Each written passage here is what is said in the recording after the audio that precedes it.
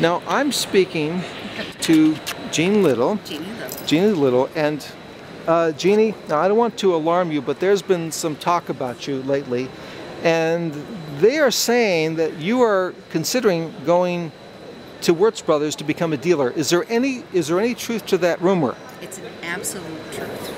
Oh, it's an absolute, truth. Absolute truth. I am going there.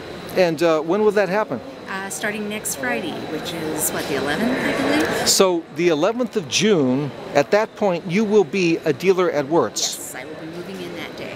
uh, that day. Well, that would be a historic occasion, and we will we will hail your arrival. And couldn't you just pick up something that might be the kind of thing that's representative of what you would have there? Oh goodness sakes! Well, there's a lot of things over here. I'm thinking. About. Okay, so we're over, so this is more of the Wirtz section over here. yes, I'm going to be doing some of these wonderful pieces. Okay. Some of these. And I'm thinking a lot of compacts. Oh, compacts. Look at mm-hmm. that. Compacts and purses. Oh, that's a that's a great one that you have there.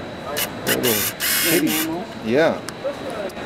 Doing lots of uh, compacts and purses. Well, that's And jewelry. Some Art Deco jewelry as well. Uh huh. Well, good.